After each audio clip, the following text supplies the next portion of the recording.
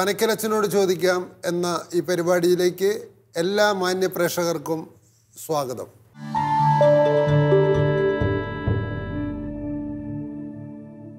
ജീവിതം സങ്കീർണ പ്രശ്നങ്ങളാൽ വഴിമുട്ടി നിൽക്കുമ്പോൾ സ്വാന്തനമായി പനക്കിലച്ചൻ നമ്മോടൊപ്പം. അച്ഛ അച്ഛനെ ഞങ്ങൾ ഈ പരിപാടിയിലേക്ക് സ്വാഗതം ചെയ്യുന്നു. സ്നേഹമുള്ളവരെ ഈ പരിപാടിയിൽ ഉൾപ്പെടുത്തി ചർച്ച ചെയ്യാൻ അനേകം കത്തുകൾ ഞങ്ങൾക്ക് ലഭിച്ചിട്ടുണ്ട്. അതിൽ തിരഞ്ഞെടുത്ത ഒരു കത്ത് ഇപ്പോൾ വായിച്ച് പനക്കലച്ചൻ ഉചിതമായ നിർദ്ദേശങ്ങൾ നൽകുന്നതാണ്. പ്രിയ പനക്കലച്ച എന്റെ പേര് ജോസ്. വർഷങ്ങളോളം ദൈവവിശ്വാസം വെടിഞ്ഞ് നിരീശ്വരവാദ പ്രസ്ഥാനങ്ങളിൽ പ്രവർത്തിച്ച ഞാൻ. വാർദ്ധക്യകാലത്ത് മനസ്സിന് സമാധാനം ലഭിക്കാതെ വന്നപ്പോഴാണ് ഒരു ധ്യാനം കൂടി ദൈവത്തെ അറിയാനിടയായത്. വ്യർത്ഥമായ കാര്യങ്ങൾക്ക് വേണ്ടി എന്റെ ജീവിതം നഷ്ടമാക്കിയതോർത്ത് ഞാൻ ഇന്ന് ദുഃഖിക്കുന്നു. എന്നെ അപേക്ഷിച്ച് നോക്കുമ്പോൾ ധൂർത്തപുത്രൻ എത്രയോ ഭാഗ്യവാനാണെന്ന് ഞാൻ പറയും. അവന് തന്റെ യുവത്വത്തിൽ ദൈവത്തെ കണ്ടെത്താൻ കഴിഞ്ഞല്ലോ. അതെ അച്ഛ ഞാനൊരു വാർദ്ധക്യ പുത്രനാണ് ഭാര്യയും മക്കളും മറ്റാരും തന്നെ ഇല്ലാത്ത എനിക്ക് നല്ല ദൈവത്തിന് വേണ്ടി എന്ത് ചെയ്യാൻ കഴിയും? അച്ഛന്റെ ധ്യാനാത്മകമായ ഉപദേശം അപേക്ഷിച്ചുകൊണ്ട് ജോസ് വട്ടപ്പാറ. നമ്മളിപ്പോൾ വായിച്ചു കേട്ട ആ കത്തിൽ ജോസിന്റെ മാനസാന്തരം ജോസ് ഭംഗിയായി അവതരിപ്പിക്കുന്നുണ്ട്. ദൈവവിശ്വാസമില്ലാത്ത ഒരു ജീവിത ശൈലിയിൽ നിന്ന് വിശ്വാസത്തിന്റെ ജീവിതത്തിലേക്ക് ജോസ് കടന്നു വന്നു. കടന്നു വന്നു കഴിഞ്ഞപ്പോൾ തന്റെ ഇന്നലകൾ അതിന്റെ ആ ഇന്നലകളിൽ താൻ എങ്ങനെ ജീവിച്ചു? അതുമൂലം താൻ വ്യർത്ഥമാക്കി കളഞ്ഞ തന്റെ കഴിഞ്ഞ കാലം. അങ്ങനെ തന്റെ യൗവനമെല്ലാം പാഴാക്കി കളഞ്ഞല്ലോ എന്ന കുറ്റബോധം ജോസിനെ നടൽ പോലെ പിന്തുടരുകയാണ്. അപ്പോൾ ഈ കുറ്റബോധത്തിൽ നിന്നാണ് ജോസ്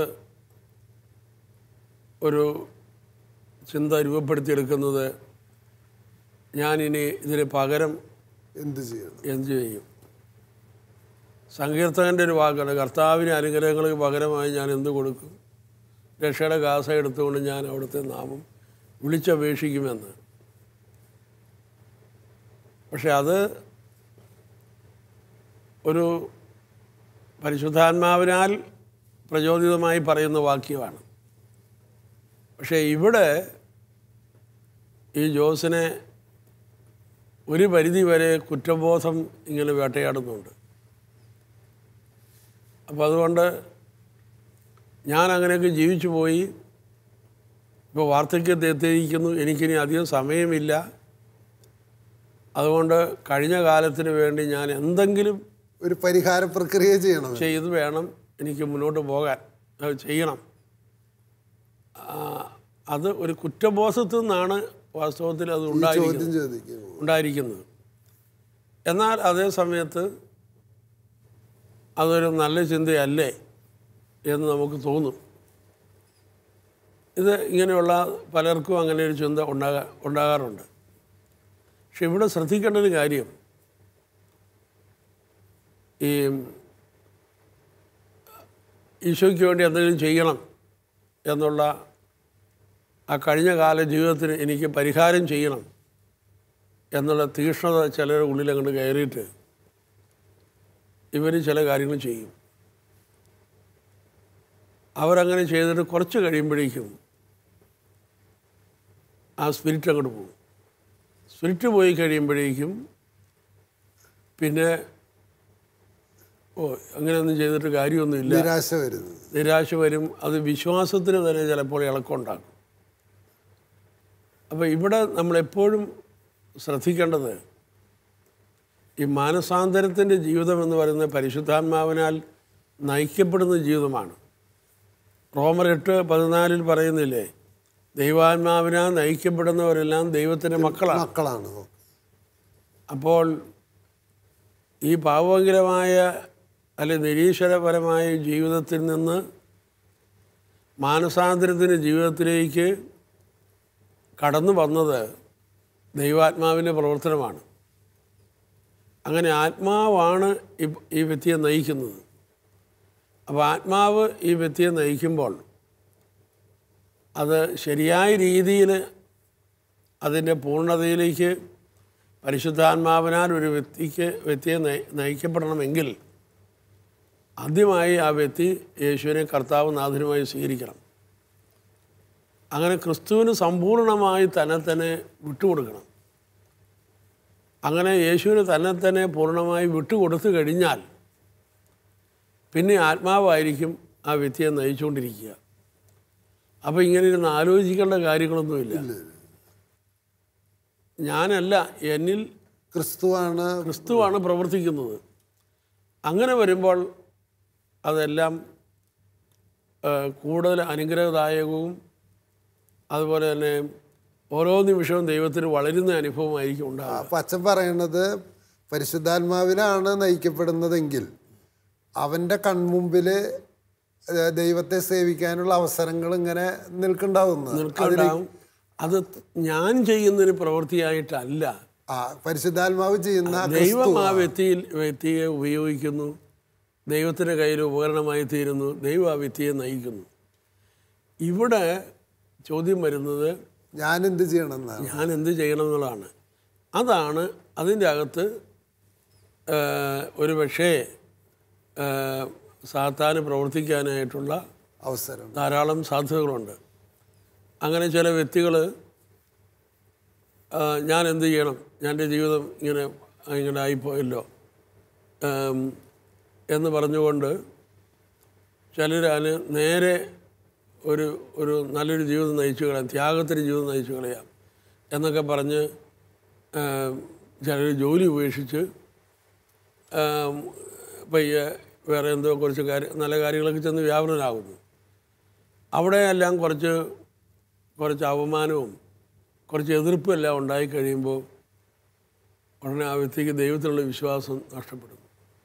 ഞാൻ ഇതെല്ലാം കഷ്ടപ്പെട്ടു. ഉപേക്ഷിച്ച് എന്റെ തമ്പുരാന് വേണ്ടി ഞാൻ ഇറങ്ങി തിരിച്ചിട്ട് ചെന്നിടത്ത് എനിക്ക് കിട്ടിയത് അപമാനവും കുറ്റപ്പെടുത്തലുമാണ്. അത് സഹിക്കാൻ പറ്റുന്നില്ല. കാരണം അത് ചെയ്തത് ഈ വ്യക്തിയാണ്. അപ്പോൾ അതുകൊണ്ട് അപ്പോൾ അങ്ങനെയുള്ളവർക്ക് ചേർത്താനറിയാം ഇവരെ വളരെ പെട്ടെന്ന് വീണ്ടും വീഴ്ത്തിയെടുക്കാൻ പറ്റുമെന്ന്. കാരണം അപ്പോൾ അവിടെ കുറച്ച് എതിർപ്പുണ്ടാവും. എതിർപ്പുണ്ടായി കഴിയുമ്പോൾ ഞാൻ നന്മയിലേക്ക് വരാൻ പോലും ആരും സമ്മതിക്കുന്നില്ല. പിന്നെ എന്ന് പറഞ്ഞ് ഉള്ളിലെ ദൈവത്തെയും കുറ്റപ്പെടുത്തുന്നു. ആ ദൈവത്തെയും കുറ്റപ്പെടുത്തും. അതായത് നിനക്ക് വേണ്ടി ഇറങ്ങിയിട്ട് ഈ കഷ്ടപ്പാടാണോ എന്റെ കൺമുമ്പിലുള്ളതെന്ന് ചോദിച്ചു ചോദിക്കും. എനിക്കൊരു ഫലം ഉണ്ടായില്ല ഫലം ഉണ്ടായില്ലേ അപ്പോൾ അപ്പോൾ ദൈവം ഇല്ലേ? ഇല്ലേ. ആ പഴയ സംശയത്തിലേക്ക് വരും. സംശയത്തിലേക്ക് ഒത്തിരി വരും. അപ്പോൾ പ്രലോഭനങ്ങൾ പിന്നെ വരുമ്പോൾ പിന്നെ എന്റെ മാനസാന്തര ജീവിതത്തെ അംഗീകരിക്കാത്തൊരു സമൂഹം എന്നെ വിമർശിക്കുന്ന കുറ്റപ്പെടുത്തുന്ന സമൂഹം പൊങ്ങി വരും. പൊങ്ങി വരുമ്പോൾ ഈ സ്റ്റെപ്പൊക്കെ ഈ വ്യക്തി തനിച്ചെടുത്തതായതുകൊണ്ട് പിന്നെ ഉടനെ തന്നെ സ്വന്തം വിശ്വാസത്തെ സംശയിക്കുന്ന ഒരവസ്ഥയിലേക്കായിരിക്കും ആ വ്യക്തി വരുന്നത്. വേറെ ചില ആളുകൾ പിന്നെ കഠിനമായ ചില തവക്കറികൾ ചെയ്യാനായിട്ട് തീരുമാനിക്കും. തപസ്. ആ തപസ്. അതായത് ഞാനിനി ഒരാഴ്ചയിൽ ഒരു മൂന്ന് ദിവസം ഉപവസിച്ച് കളയാം. അപ്പോൾ അങ്ങനെ ഇവർ ഉപവാസം അനുഷ്ഠിക്കുന്നു. കുറച്ച് കഴിയുമ്പോൾ ചിലപ്പോൾ ഉപവാസം ചിലപ്പോൾ ഒരു രോഗാവസ്ഥ ഉണ്ടാക്കുന്നു. ആ രോഗാവസ്ഥ വന്നു കഴിയുമ്പോൾ ദൈവമേ എന്ന് വിളിക്കുന്നു. സൗഖ്യം വരുന്നില്ല. അപ്പോഴേക്കും ആ വ്യക്തിക്കൊരു വല്ലാത്ത സംശയം. ഞാൻ ചെയ്തത് ശരിയാണോ ആ ദൈവം ഉണ്ടോ ഇതൊക്കെ എന്റെ തോന്നലാണോ? എന്നൊക്കെയുള്ള ചിന്തകളിലേക്ക് വരും. അതുകൊണ്ട് പരിശുദ്ധാത്മാവിനാൽ നയിക്കപ്പെടുമ്പോൾ അങ്ങനെ ഒരു അനുഭവം വരികയില്ല. മൂന്നാമത് യേശുവിന്റെ ജീവിതം ഉണ്ടല്ലോ അത് ആരംഭിക്കുന്നിടത്ത് എഴുതിയിരിക്കുന്നത് എങ്ങനെയാണ് പരിശുദ്ധാത്മാവിനാൽ പ്രചോദിതനായി അവൻ മരുഭൂമിയിലേക്ക് പോയി എന്നാണ്. അതാണ് അച്ഛൻ പറഞ്ഞു വരുന്നത്. പിന്നെയുള്ള ഇവിടുത്തെ ഈ ജോസിന്റെ ചോദ്യത്തിനകത്തുള്ള മറ്റൊരു കാര്യം നമ്മുടെ ജോസിന് കിട്ടിയ ഈ മാനസാന്തരത്തെ ഒന്നും കൂടി ആഴത്തിൽ മനസ്സിലാക്കണം. അതായത് ജോസിന്റെ ഇന്ന് വരെയുള്ള ജീവിതത്തിൽ വന്നുപോയ എല്ലാ തെറ്റുകളും ക്രിസ്തു ഏറ്റെടുത്ത് അവിടുന്ന് പരിഹാര പാവപരിഹാര ബലി പൂർത്തിയാക്കി അവിടുന്ന് അത് മുഴുവനും തുടച്ചു കളഞ്ഞ് അനുഗ്രഹിക്കുകയാണ് ചെയ്തിരിക്കുന്നത്. എന്ന് പറഞ്ഞാൽ ജോസിന് ഇതിന്റെ പരിഹാരം ചെയ്യേണ്ട ആ പരിഹാരം ഓൾറെഡി ജോസിന് വേണ്ടി യേശു ക്രിസ്തു കുരിശിൽ വഹിച്ചു കഴിഞ്ഞു. വഹിച്ചു കഴിഞ്ഞു. ഓക്കെ അപ്പോൾ അങ്ങനെ വരുമ്പോൾ മറ്റൊരു ജോസ് ഞാൻ ചെയ്ത പാപത്തിന് ഞാൻ തന്നെ പരിഹാരം അപ്പൊ അപ്പോൾ അങ്ങനെ വരുമ്പോഴേക്കും ഞാൻ ഞാനാണ് എന്റെ രക്ഷ പിന്നെ ഞാൻ തന്നെയാണ് എന്നെ രക്ഷിക്കുന്നത് എന്ന നിലയിലേക്ക് വരും. അവിടെ രക്ഷകന്റെ ഇമ്പോർട്ടൻസ് കുറയും. അപ്പോൾ അത് അതൊരു സ്പിരിച്വൽ ആയിട്ടുള്ള വലിയൊരു അപകടമാണ്. കാരണം എന്റെ പാപത്തിന് ഞാൻ പരിഹാരം ചെയ്തു. അങ്ങനെ വരുമ്പോൾ എനിക്ക് പരിഹാരം ചെയ്യാൻ സാധിക്കുമെങ്കിൽ എനിക്ക് പാപം ചെയ്യാമല്ലോ ഉണ്ട്. എനിക്ക് കടം വീട്ടാൻ പറ്റുമെങ്കിൽ കടം വാങ്ങിക്കാൻ പാടില്ലേ? അതുകൊണ്ട് എന്റെ പാപത്തിന് ഞാൻ പരിഹാരം ചെയ്യും. ചെയ്തു ചെയ്തുവെങ്കിൽ ഞാൻ ഇനി അതേ തെറ്റ് തന്നെ ചെയ്തിട്ട് അതിനൊക്കെ കൂടി പരിഹാരം ചെയ്തേക്കാം. അങ്ങനെ വരുന്ന വ്യക്തികൾക്ക് താൻ തന്നെയാണ് രക്ഷകനായിട്ട് മാറുന്നത്. ഇവിടെ അങ്ങനെയല്ല. ഇവിടെ വരുന്നത് ഈ ഈ ജോസിന്റെ സർവ തെറ്റുകളും എല്ലാം ദൈവം ഏറ്റെടുത്തു. അവിടുന്ന് അത് പരിഗണിക്കുന്നേയില്ല. പിന്നെ ആ വലതുഭാഗത്ത് കള്ളനോട് പറഞ്ഞില്ലേ നീ ഇപ്പോൾ ഇന്ന് എന്റെ കൂടെ പരദീസയിലായിരിക്കും. അതുപോലെ മാനസാന്തരത്തിന്റെ നിമിഷത്തിൽ തന്നെ അതെ. എല്ലാ പാപവും മാറ്റി പരിഹാരം ചെയ്ത് വിശുദ്ധിയിലേക്ക് കടത്തി വിട്ട് കഴിഞ്ഞു. അതെ. അപ്പോൾ അങ്ങനെ വരുമ്പോൾ എന്റെ പാപത്തിന് കർത്താവ് പരിഹാരം ചെയ്തു എന്നുള്ള യഥാർത്ഥമായ ഒരു ബോധം ഉണ്ടാകുമ്പോൾ ഞാനിനി എന്റെതല്ല അവന്റേതാണ്. അവന്റെതാണ്. ഞാൻ ഇതുവരെയും പാപത്തിന്റെ അടിമയായിരുന്നു സാത്താന്റെ അടിമയായിരുന്നു. എന്റെ ദൈവം ഈ അടിമത്തുനിന്ന് എന്നെ വിലയ്ക്ക് വാങ്ങി. വിലയ്ക്ക് വാങ്ങിയത് വാങ്ങിയതിനാൽ ഞാനിനി എന്റെതല്ല എന്നുള്ള ബോധം വരും. എന്റെതല്ല എന്ന ബോധം വരുമ്പോൾ എനിക്ക് എന്നോട് മരിക്കാൻ സാധിക്കും. എന്നോട് മരിക്കാൻ സാധിച്ചു കഴിഞ്ഞാൽ ഞാൻ എന്ത് ചെയ്യണം എന്ന് ചോദ്യം മാറിക്കിട്ടും. അങ്ങയുടെ ഇഷ്ടം എന്താണ് അവിടുത്തെ ഇഷ്ടം നിറവേറണമേ എന്ന് പറയുന്നുള്ളൂ. ഓരോ നിമിഷവും ദൈവത്തിന്റെ നിമിഷം എന്താണ്? അത് നിർവഹിക്കാനുള്ള ശക്തി കിട്ടും. അപ്പോൾ ഇവിടെ മാനസാന്തരം ജോസിന് ഉണ്ടായിട്ടുണ്ട് പക്ഷേ ആ മാനസാന്തരത്തിന്റെ പൂർണിമ എന്ന് പറയുന്നത് തന്നോട് തന്നെയുള്ള മരണമാണ്. ആ മരണം സംഭവിച്ചിട്ടില്ല. ആ മരണം സംഭവിക്കണമെങ്കിൽ യേശുവിനെ കർത്താവായി സ്വീകരി സ്വീകരിക്കണം. അതുപോലെ തന്നെ കർത്താവ് നൽകിയ അനുഗ്രഹങ്ങൾക്കെല്ലാം വേണ്ടിടത്തോളം നന്ദി പറയാം നന്ദി പറയാവുന്നു. അപ്പം എന്നെ ഇങ്ങോട്ട് എത്തിച്ചത് ഞാനല്ല. എന്റെ കർത്താവാണ്. എന്ന് മനസ്സിലാക്കി അവിടത്തേക്ക് നന്ദി പറയാനായിട്ട് അതായത് എന്റെ അന്വേഷണത്തിന്റെ ഫലമല്ല ദൈവം വെളിപ്പെടുത്തിയത് കൊണ്ട് ഞാൻ തിരിച്ചറിഞ്ഞതാണ്. ഇനി മരിക്കുന്നതിന് മുമ്പ് ദൈവം എനിക്കിത് വെളിപ്പെടുത്തി മനസ്സിലാക്കാൻ പറ്റിയത് തന്നെ വലിയ ഭാഗ്യമാണെന്ന്. അതെ. ഇപ്പം നമ്മളിപ്പോൾ ഒരു സ്ഥലത്ത് കുഴിക്കുമ്പോൾ ഞാൻ കുഴിച്ചത് കൊണ്ട് വെള്ളം ഉണ്ടായതല്ലല്ലോ. അല്ല അല്ല അല്ല അവിടെ വെള്ളം ഉള്ളത് നമ്മൾ തിരിച്ചറി വെള്ളം നമ്മൾ അപ്പം അവിടെ ദൈവത്തിന് ഇതിന്റെ എല്ലാം നമ്മളെ നയിക്കുന്ന തമ്പുരാനാണ് എന്ന് മനസ്സിലാക്കി ഞാ ആ എന്റെ എന്നത് ഇവിടെ മരിച്ചിട്ടുണ്ടോ? അത് മരിച്ചാൽ മാത്രമാണ് എന്ത് ചെയ്യണം എന്നുള്ള കാര്യം ദൈവം വെളിപ്പെടുത്തി തരുന്നത്. ആ, ഈ വ്യക്തിയുടെ മുമ്പിൽ തെളിഞ്ഞു വരികയുള്ളൂ. തെളിഞ്ഞു വരുന്നത് അല്ലെങ്കിൽ ഈ വ്യക്തി കഠിനാധ്വാനം ചെയ്ത് കുറേ കാര്യങ്ങൾ ചെയ്യുന്ന ഒരു അവസ്ഥ വരും. അവിടെയൊക്കെ പ്രലോഭനങ്ങൾ ശക്തമാകും. കാരണം സ്വന്തം ശക്തി കൊണ്ട് ചെയ്യുന്നിടത്ത് പരിശുദ്ധാത്മാവിന് സഹായം കിട്ടാത്ത ഒരു വരികയില്ല കിട്ടിയല്ല അപ്പോൾ അതുകൊണ്ട് കഠിനാധ്വാനം വരും. കഠിനാധ്വാനം വരുന്നിടത്ത് അഹങ്കാരം ഉണ്ടാകും ഞാനായിട്ട് രക്ഷ നേടിയെടുത്തു. മറ്റുള്ളവരൊക്കെ അങ്ങനെ നടക്കുകയാണ്. ഇങ്ങനെയാണ് കമ്പാരിസൺ ആത്മീയ ജീവിതത്തിലെ കമ്പാരിസൺ.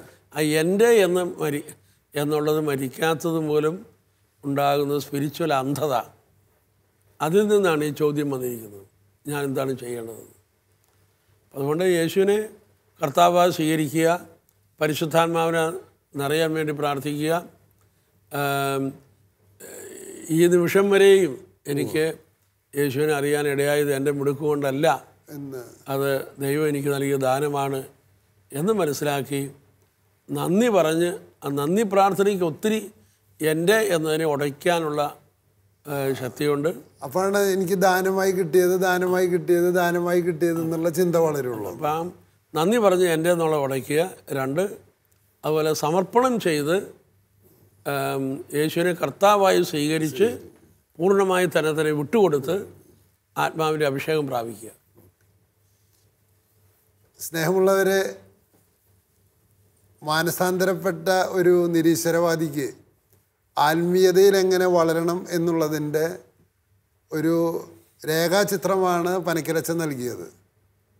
പക്ഷെ വളരെ സത്യസന്ധമായിട്ട് പറഞ്ഞാൽ അച്ഛനത് പറയുമ്പോൾ എന്റെയും ആത്മീയ വളർച്ചയിലേക്കുള്ള ഒരു ചൂണ്ടുപലക അച്ഛൻ കാണിച്ചു തരുന്നുണ്ട്. എങ്ങനെയാണ് ഒരു വ്യക്തിക്ക് ആത്മീയതയിലേക്ക് വളരാൻ കഴിയുക? ജോസിനോട് ആദ്യമായിട്ട് പറയുന്നത് മാനസാന്തരത്തിലേക്ക് വരുന്ന എല്ലാവരോടുമുള്ള ഒരു ഉപദേശമാണ്. മാനസാന്തരത്തിൽ വന്ന എല്ലാവർക്കും വരുന്ന ആദ്യത്തെ ഫീലിംഗ് ഇതാണ് ഞാൻ എന്റെ മുൻകാലങ്ങൾ നശിപ്പിച്ച് കളഞ്ഞു. ഇനി ഞാൻ എന്ത് പകരമായി നൽകും? ഇതാണ് ചോദ്യം. അപ്പം അച്ഛ പറയണത് ആദ്യം തന്നെ അവിടെ ഒരു കുറ്റബോധത്തിന്റെ എലിമെന്റ് കിടപ്പുണ്ട്. കുറ്റബോധം എന്ന് പറഞ്ഞാൽ ഞാൻ ഇതുവരെ ഒന്നും ചെയ്തില്ല ഇനി ഞാൻ എന്ത് ചെയ്യണം? അച്ഛൻ പറയണത് ആ കുറ്റബോധം ഉണ്ടാകുന്നതിന്റെ ഒരു കാരണം ഇതിനുള്ള പരിഹാരം മുഴുവൻ യേശു ക്രിസ്തുവിന്റെ കൃപയാൽ ദാനത്താൽ എല്ലാ പാപങ്ങൾക്കും പരിഹാരം യേശു ക്രിസ്തു ചെയ്തു കഴിഞ്ഞു എന്ന് തിരിച്ചറിയുമ്പോഴാണ് കുറ്റബോധത്തിൽ നിന്ന് നമുക്ക് മോചനം വരുള്ളൂ. അപ്പോൾ എന്റെ പ്രവൃത്തി കൊണ്ടല്ല ഞാൻ രക്ഷ പ്രാപിച്ചിരിക്കുന്നത്. വിശുദ്ധ പൗലോസ് പറയുന്നത് പോലെ വിശ്വാസം വഴി കൃപയാലത്രേ ഞാനത് നേടിയെടുത്തിരിക്കുന്നത്. ഇത് എന്റെ അധ്വാന ഫലമല്ല ദൈവത്തിന്റെ ദാനമാണ്. അപ്പോൾ ആ ഇതുണ്ടാകണമെങ്കിൽ അതുണ്ടായി കഴിഞ്ഞാൽ പിന്നത്തെ അച്ഛൻ പറയുന്നത് ഞാൻ മരിക്കണം. അതായത് ദൈവാത്മാവിന് പ്രവർത്തിക്കാനായിട്ട് അവസരം കൊടുക്കണമെങ്കിൽ ഞാൻ എന്ത് ചെയ്യണം ഞാൻ എന്ത് പരിഹാരം ചെയ്യണം എന്ന് നമ്മൾ ചിന്തിച്ചുകൊണ്ട് നമ്മൾ കുറേ പ്രവർത്തനത്തിൽ ഇറങ്ങിയാൽ അതെല്ലാവരുടെ ആത്മീയ ജീവിതത്തിൽ പറ്റുന്ന ചില പടവുകളാണ്. അപ്പോൾ അച്ഛൻ വേടയിൽ പറയുന്നുണ്ടായി ജോസ് ഇത് തെറ്റായിട്ടല്ല ചിന്തിക്കുന്നത് ഇതൊരു വളർച്ചയുടെ ഒരു ഘട്ടം തന്നെയാണ്. അത് കഴിയുമ്പോൾ നമ്മൾ ആ പരാജയപ്പെടുമ്പോൾ നമ്മൾ തിരിച്ചറിയും. അത് പരാജയപ്പെടുന്നതിന് മുമ്പ് അച്ഛൻ ചൂണ്ടിക്കാണിച്ചു തരുന്നു എന്ന് മാത്രം. നമ്മളിൽ ഞാനല്ല എന്നിൽ കർത്താവാണ് പ്രവർത്തിക്കുന്നത്. കർത്ത ആത്മാവ് നിർദ്ദേശിക്കുന്നതിനനുസരിച്ച് വേണം ഞാൻ പ്രവർത്തിക്കാൻ. അങ്ങനെ വരുമ്പോൾ നമുക്ക് പ്രവർത്തിക്കാനുള്ള അവസരങ്ങളുണ്ടാകും. ആ ദൈവം തന്നെ നമുക്ക് കൊണ്ടുവന്ന് തരും. അങ്ങനെ ഉണ്ടാവണമെങ്കിൽ എന്നിലെ ഞാൻ എന്നുള്ള ഭാവത്തെ ഇല്ലാതാക്കി ദൈവത്തിന് ഭരണം പൂർണമായി ഏൽപ്പിച്ചു കൊടുക്കണം. കാരണം യേശു സ്വന്തം രക്തത്തിന്റെ വിലയാൽ എന്നെ വിലയ്ക്ക് വാങ്ങിയവനാണ്. ഈ സാത്താന്റെ അടിമത്തത്തിൽ നിന്ന് പ്രപഞ്ചത്തിന്റെ അരൂപിയുടെ അടിമത്തത്തിൽ നിന്ന് ദൈവത്തിന്റെ അരൂപിയുടെ ഭരണത്തിലേക്ക് വില കൊടുത്ത് വാങ്ങിയവനാണ് യേശു ക്രിസ്തു അപ്പം നാം അവന്റെ ദാസന്മാരാണ്. ഇനി മുതൽ ഞാനല്ല എന്നിൽ ക്രിസ്തുവാണ് ജീവിക്കുന്നത്. അതില്ലാതാക്കാൻ അച്ഛൻ പറയണത് നിരന്തരം ദൈവത്തിന് നന്ദി പറഞ്ഞുകൊണ്ടിരിക്കുക. സമർപ്പണം നടത്തിക്കൊണ്ടിരിക്കുക. അപ്പോൾ ആ നിരന്തരം നന്ദി പറയുമ്പോൾ എനിക്ക് ലഭിച്ചതൊക്കെ ദാനമാണ് ദാനമാണെന്നുള്ള ചിന്ത വളരും. അപ്പോൾ പരിഹാരം ചെയ്യുകയല്ല ദൈവത്തിന്റെ കൂട്ടുവേലക്കാരനായിട്ട് പരിശുദ്ധാത്മാവിനാൽ നയിച്ച് പുതിയ പ്രവൃത്തികൾ ചെയ്യാനുള്ള അവസരം ജോസിന്റെ കൺമുമ്പിൽ ഉണ്ടാകും എന്നാണ് അച്ഛൻ പറയുന്നത്. അച്ഛ ശരിക്കും ഇത് ആത്മീയതയിൽ വളരാനുള്ള ഒരു നിർദ്ദേശമാണ്. ഇത് ഇത്തരത്തിൽ പ്രതിസന്ധിയുള്ള എല്ലാവർക്കും വേണ്ടി നമുക്ക് പ്രാർത്ഥിക്കാം. കരുണവാനായ കർത്താവെ സ്നേഹവളീശോയെ ജോസിനെ പോലെ ചിന്തിച്ച് ഒത്തിരി കഠിനമായ പ്രാച്യത്വ പ്രവർത്തികൾ ഏർപ്പെടുകയും പിന്നീട് സമൂഹത്തിൽ നിന്നും മറ്റുള്ളവരിൽ നിന്നുമൊക്കെ പല വിധത്തിലുള്ള പീഡകൾ ഉണ്ടാകുമ്പോൾ അത് സഹിക്കാൻ പറ്റാതെ വളരെ അതിനേക്കാൾ വലിയ നിരാശയുടെ ജീവിതത്തിലേക്ക് വരുന്ന ആത്മീയതയിലേക്ക് കാലെടുത്ത് വെച്ച ഒത്തിരി ആളുകളുണ്ട്. അവർക്കെല്ലാം വെളിച്ചം തരുന്നൊരു ചോദ്യമാണ് ജോസിന്റെ ചോദ്യം. അതിനാൽ ഈശോയെ ഞങ്ങൾക്കറിയാം. ഞങ്ങളിലെ ഞാൻ എന്നതിന് മരിച്ചു മാത്രമാണ് ആത്മാവിരാൻ നിറഞ്ഞ് മുന്നോട്ട് നീങ്ങാൻ സാധിക്കുകയുള്ളൂ. അപ്പോഴാണ് ദൈവിക സംരക്ഷണത്തിൽ എല്ലാ കാര്യങ്ങളും ചെയ്യാൻ സാധിക്കുകയുള്ളൂ. സ്വന്തം ശക്തിയാൽ ചെയ്യുമ്പോൾ നിസ്സാരമായ ഒരു പീഡ വരുമ്പോൾ പോലും താങ്ങാൻ പറ്റാത്തവണ്ണം തളർന്നു പോകുന്ന അനുഭവമായിരിക്കും ഉണ്ടാകുന്നത്. ഇതൊക്കെ മനസ്സിലാക്കിക്കൊണ്ട് യേശുവിനെ കർത്താവ് നാഥനുമായി സ്വീകരിച്ച് ആത്മാവിനാൽ നയിക്കപ്പെടുവാൻ ഞങ്ങളുടെ ജീവിതങ്ങളെ സമ്പൂർണമായി തിരുമുമ്പിൽ അടിയറവിക്കുന്നു ആത്മാവെ നയിക്കണമേ. അങ്ങ് ഞങ്ങൾക്ക് വേണ്ടി ചെയ്യുന്ന ഓരോ കാര്യങ്ങളും തിരിച്ചറിഞ്ഞ് നന്ദി പറഞ്ഞ് നന്ദി പറഞ്ഞ് ദൈവത്തിന് ആനന്ദിക്കുവാൻ ജോസിനെയും ഞങ്ങളെപ്പോലെയുള്ള എല്ലാവരെയും അവിടുന്ന് അനുഗ്രഹിക്കണമേ. ഈ പ്രാർത്ഥന അങ്ങയുടെ സന്നിധിയിലേക്ക് ഉയർത്തുന്നു. ആമേൻ. ഫനക്കലച്ചനോട് ചോദിക്കാം എന്ന ഈ പരിപാടി ശ്രദ്ധിക്കുകയും ശ്രവിക്കുകയും ചെയ്ത എല്ലാ മാന്യ പ്രേക്ഷകർക്കും നന്ദി. നിങ്ങളുടെ ജീവിതത്തിലെ സങ്കീർണങ്ങളായ പ്രശ്നങ്ങൾ പനക്കിലച്ചനുമായി ചർച്ച ചെയ്യാൻ ആഗ്രഹിക്കുന്നുവെങ്കിൽ നിങ്ങൾ ഞങ്ങളെ എഴുതി അറിയിക്കുക. ഉചിതമായ സമയത്ത് പനക്കിലച്ചൻ നിങ്ങളുടെ കത്ത് വായിച്ച് ഉപദേശങ്ങൾ നൽകുന്നതായിരിക്കും. അടുത്ത എപ്പിസോഡ് വരുന്നതുവരെ പ്രാർത്ഥനാപൂർവം നമുക്ക് കാത്തിരിക്കാം. പ്രൈസ് പ്രൈസ്തലോ